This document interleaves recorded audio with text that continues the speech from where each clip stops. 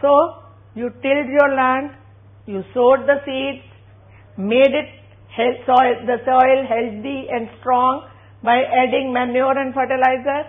Now what? Now what is the worry? You see, the soil provided nutrients not only to the crops but also to some undesirable plants because seeds were there. Now what are these undesirable plants called? They are called weeds. Alright? What is the harm? Let them also grow. But then soil has limited amount of nutrients available. If the weeds will also use these nutrients and water and sunlight, naturally the share of the regular crop is getting used.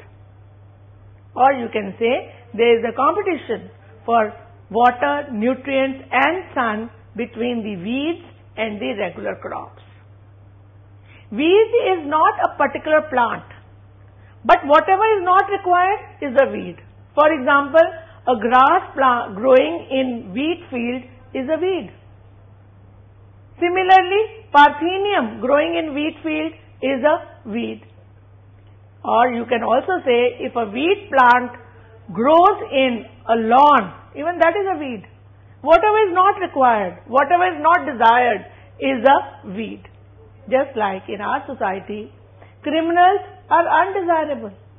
Anybody who has wrong habits like usage of alcohol or tobacco is undesirable.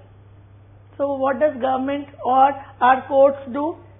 If they are not falling on the track, they are penalized. So these poor weeds are also penalized.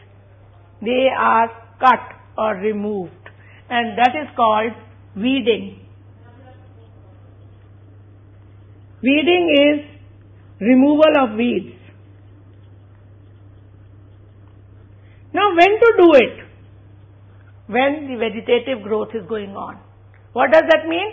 Before the flower formation or the seed formation.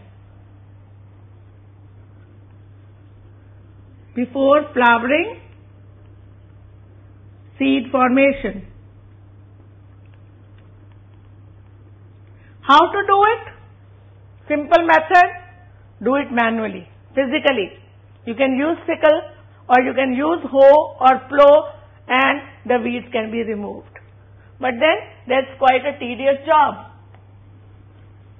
First method is manually. Second method can be chemically. There are certain chemicals like 2,4-D which is a weedicide and this can kill weeds. It doesn't kill the crops. It only kills the weeds. And weedicide can be sprayed with the help of pumps.